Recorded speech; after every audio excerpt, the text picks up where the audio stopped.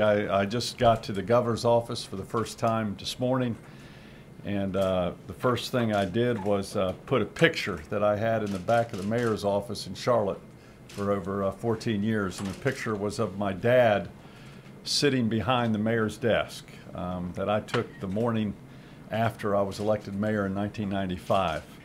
Uh, my dad passed away about a week and a half later, and that picture was very difficult to take out of the mayor's office after serving 14 years, but um, I unpacked it today, and a picture of my mom and dad uh, right there in the mayor's office is uh, now in the governor's office, and it's quite a quite a thrill for me to do just that, and uh, real honor because they've been in my heart uh, ever since the, during this whole process, and will be throughout the rest of the week.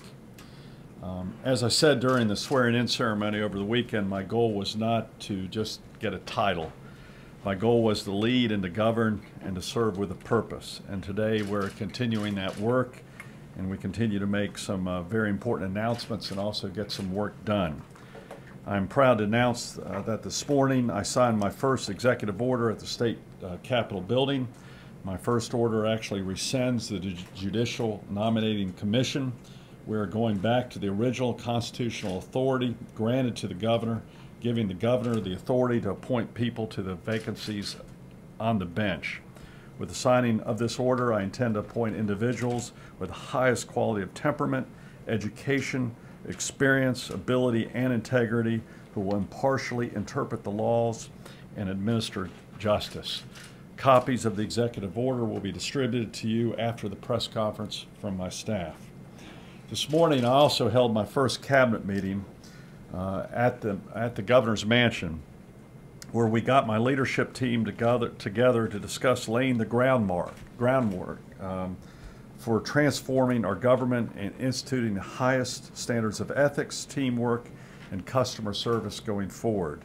We discussed many of the challenges we are inheriting in our departments and agencies and we also discuss future steps that we need to take to fix the broken government and broken government we have here in North Carolina.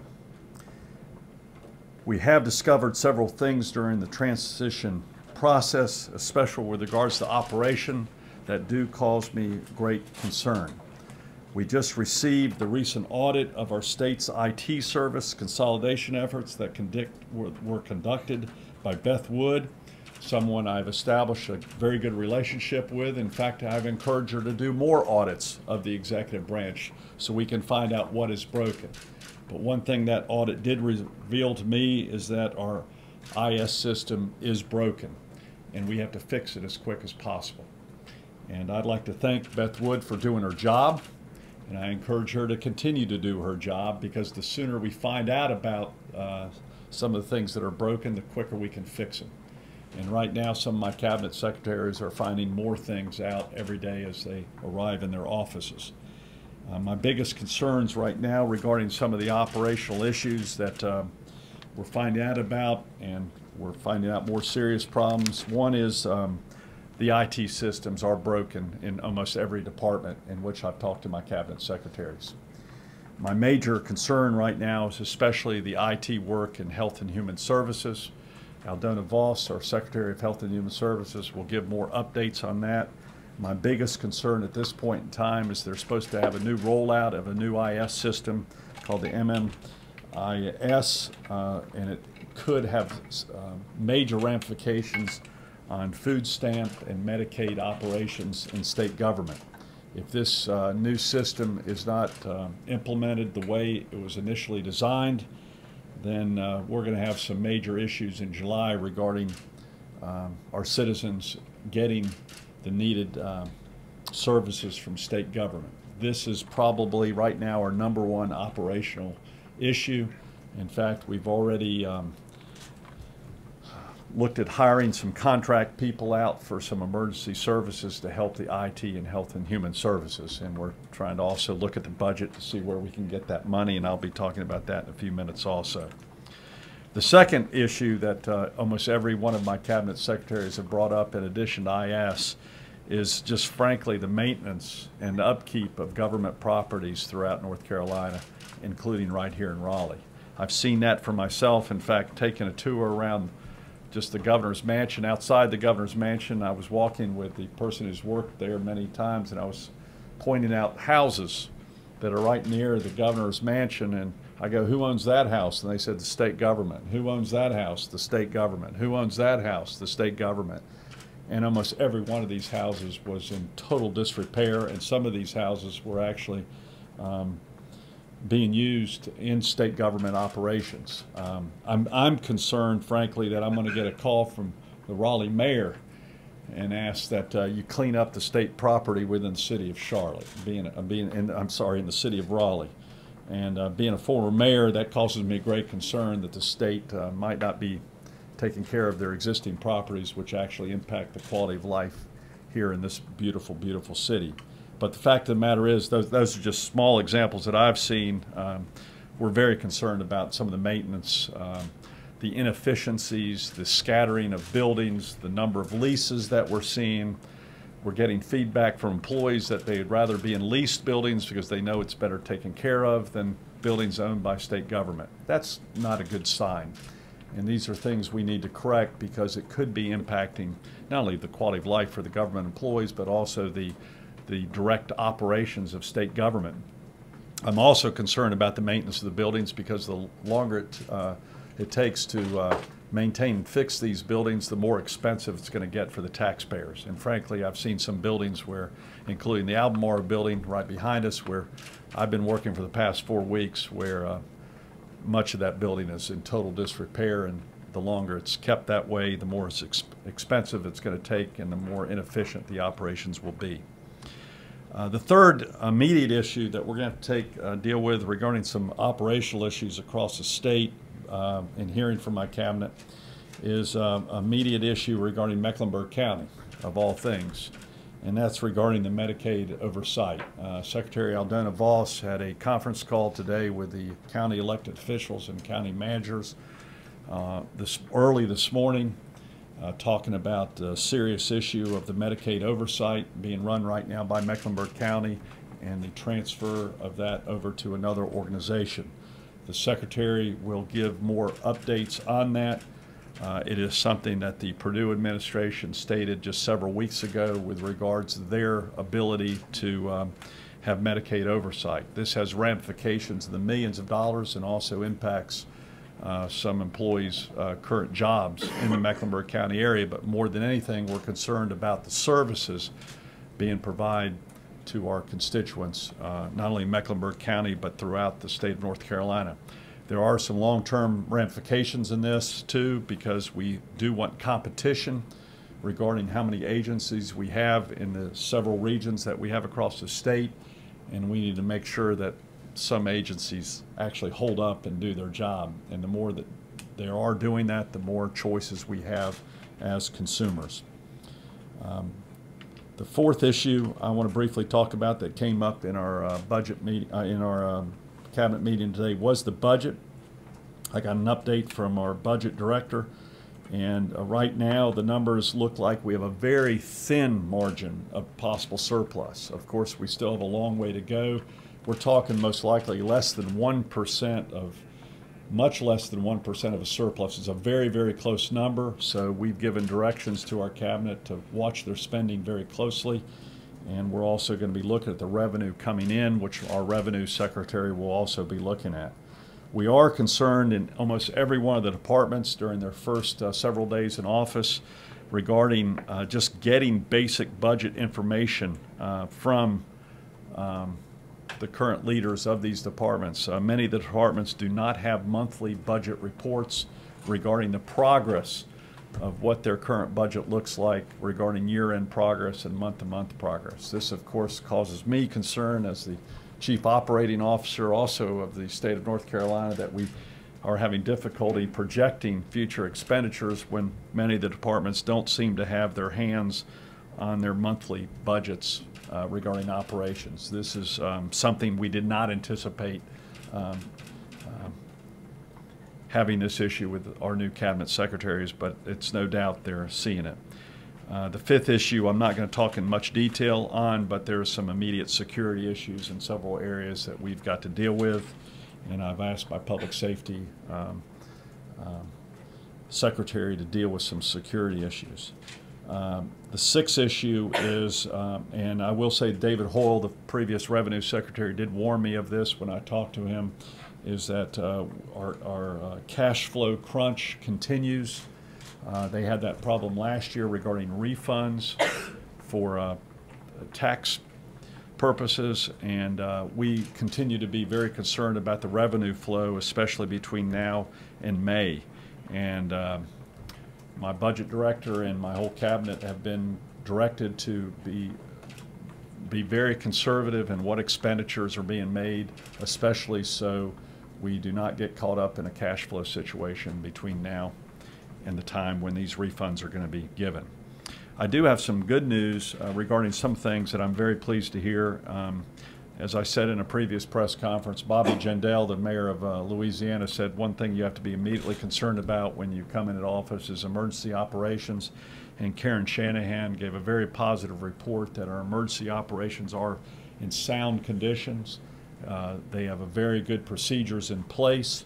There's even an old videotape of both Governor Perdue and Governor Hunt giving training on this, and we're very pleased to see that our emergency operations is in good shape and Secretary Shanahan has uh, already met with the other cabinet secretaries this morning to ensure that they're trained. In fact, we're going to be planning a uh, tabletop exercise for my entire team probably sometime in February to ensure that um, they'll know what to do in each of the uh, areas. So um, that's where we are right now, and I could spend another half hour on the very, very productive and uh, as Sharon Decker said in the meeting, um, who's a great friend and colleague, she said, We see all of these problems as opportunities also to fix things. But we're going to have to move quickly and we're going to have to be very innovative to try to, to try to fix some of these immediate operational issues. So, as we're planning to try to initiate new policy, probably one of our initial goals is just to keep the operations of state government sound and in place and serving our, our constituents and our customers. Um, I'm real excited here to make three additional appointments who will be working with me and my chief of staff. In fact, come on up here. I want you to stand up here with us uh, since you'll be working directly with these people. Thomas Stith, my chief of staff, who has been doing an outstanding job. I, I, I couldn't have made a better selection. But today I'm pleased to announce that Tony Almeida, to my left, will serve as my senior advisor for jobs and the economy and will be working very closely with Sharon Decker, the Secretary of Commerce in looking at jobs and economy uh, policy needs and even look at organizational structure needs with regards to commerce and other departments. Uh, Tony will be working very closely with me in the old Capitol building, and um, he's going to be my right-hand person in also making some of the uh, contacts with uh, clients that are interested in North Carolina, which will be coordinated by both Tony and Sharon Decker. I'm also pleased to announce that Fred Steen, to my left, person from Rowan County. That area will serve as my legislative liaison, and I'll talk about Fred in just a few minutes.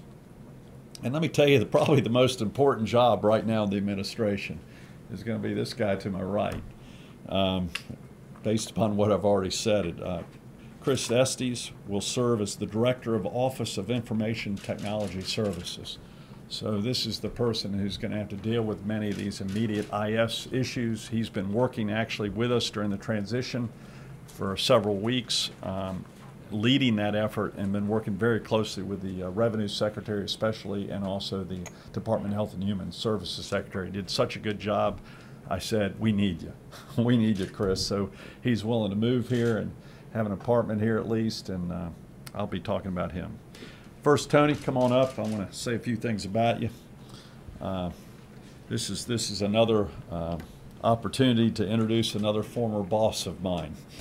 Uh, Tony and I actually came to Duke Energy uh, within six months of each other. He was a good Vanderbilt graduate. He came to Duke Power, and uh, he's agreed to be my chief advisor on jobs and the economy. He is he had 32 years of management experience at Duke, uh, where he was also vice president of economic development. I also want to say that uh, during that tenure, he was also uh, the operations manager of the 24 hour answering service, customer service answering service, which is another thing I'm trying to really uh, integrate into state government. In fact, his predecessor in that job was Sharon Decker. So he and Sharon will again be putting that team together. And um, I'm very, very lucky to have Tony. Um, he was also a very integral part when he was Vice President of Economic Development in developing the vision and strategy that resulted, resulted in Apple, Google, and Facebook data centers being recruited in North Carolina. He had a great relationship with the previous Secretary of Commerce, too, and we continue to pick his brain for ideas and, and uh, help. He has extensive experience working with state, regional, and local governments to implement large developmental projects and recruit businesses to the state. He knows the state, the entire state, extremely well. Um, as mayor, he would often set up meetings with me with economic development groups from the east, from the Piedmont to the west. And I remember giving them many tours of the city of Charlotte, which you helped lead. As my senior advisor for jobs and the economy, Tony will counsel me on all aspects of economic development including the retention and expansion of industry in North Carolina. And I expect, I expect some very innovative thinking from him and Sharon Decker in this effort. I want to thank him for agreeing to serve and also thank his wife Margaret, who's not here today. She's back home in Salisbury, uh, for allowing him to come and work in Raleigh. Y'all give Tony Almeida a round of applause. Thank you very much.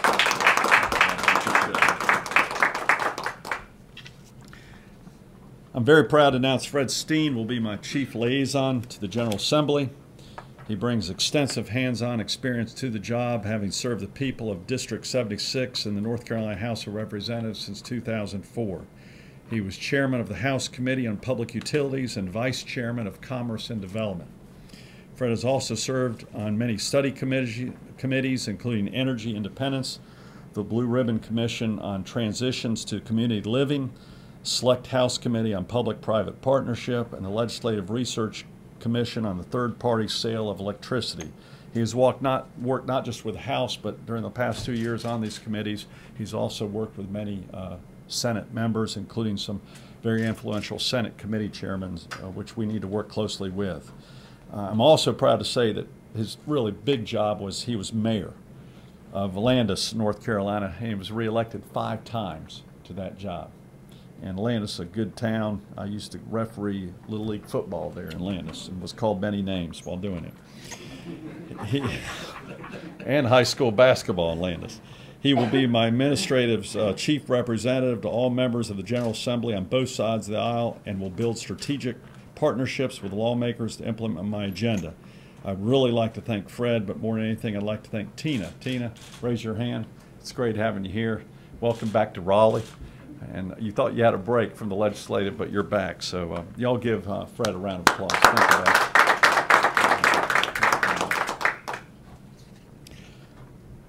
Again, the most important job right now, and that's with all due respect to all my cabinet members and Thomas, even you, buddy.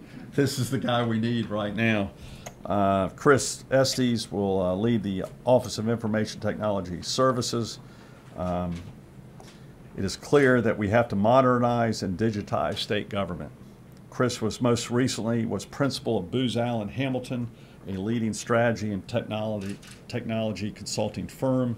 He previously served as business development manager at PricewaterhouseCoopers before joining IBM after its acquisition of the company in 2004.